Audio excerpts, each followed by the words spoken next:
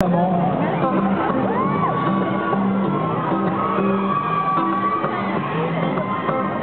inspiration étrange m'est venue, celle de l'arrivée d'un petit gars dans ma vie.